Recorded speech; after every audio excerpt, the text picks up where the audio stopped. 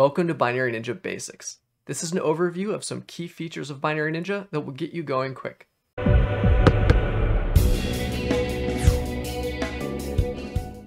This week, we're going to take a look at how to open files. Something as simple as that actually has a lot of different ways you can do it. You can drag and drop, right? You can just drag it onto it and the default analysis just goes. Uh, same thing with file open, default analysis just goes. We want the out of the box, like just very quick, very fast, do the right thing most of the time to work.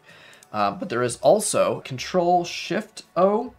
That's the open dialog, but it's the open with options dialog, right? And so we can see that here, and that's gonna like let me customize the analysis. Both IDA and Ghidra by default assume you wanna like mess with your analysis options, and we say like, no, like just do the right thing. But then if you wanna go make your changes, go in and, and use this, this separate menu option. Um, and you notice that it was a Control Shift plus O opens. So if you also hold Control and Shift and click one of the recent items on the recent list, it does the same thing, right? So that's actually gonna do the same thing as if I did Control Shift O and it gives me the like open with options. You can also, the, the numbers next to these, you can just hit the number to open the file directly. So I've got no binaries open, I can just hit one. Uh, I use that, I use one a lot. Uh, there's a couple of more like esoteric ways that you can open binaries. Uh, one of which is there's actually a URL handler so this is kind of, it seems kind of weird. Uh, I can open like binls and it will ask me if I want to use Binary Ninja.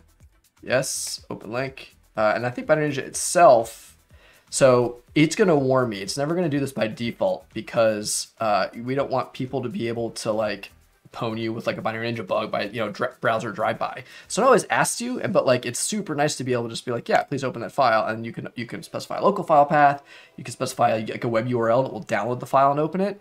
Uh, this is actually a neat trick for like integrating Binary Ninja into like other workflows and other like apps. You can like automate like via a web app, like where you're clicking around some files, you've got some internal corporate thing or just some you know kind of tool you've got. The URL handler also supports like search and navigation. You can actually specify like where to go in a particular binary. One of my favorites is actually using a command line parameter. And the reason it's one of my favorites is because of this little trick that a lot of people don't know. So I, I, I launched Binary Ninja with the command line parameter, right? So obviously, duh, it opens up the file. That's nothing.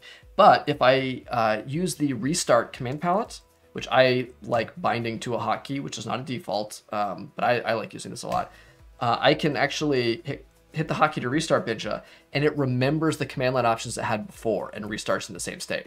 So that's super nice. Like if you're debugging an architecture plugin where you've actually got to restart Binja and you don't have a commercial license where you can just do it headless and standalone. There is a, a Linux setup script uh, that will actually do some stuff that you would expect of like, we have no installer on Linux. It's just a zip file, but this can actually set up uh, like bindings so that BNDB files you can double click to open Binary Ninja, I guess is another way that you could open it. Triage View is also part of like the dedicated like open for malware.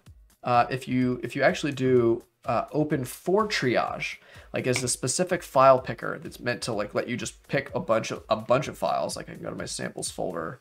Like I could you know open like a bunch of them all at once. And when you open something using the triage view, it does very little analysis.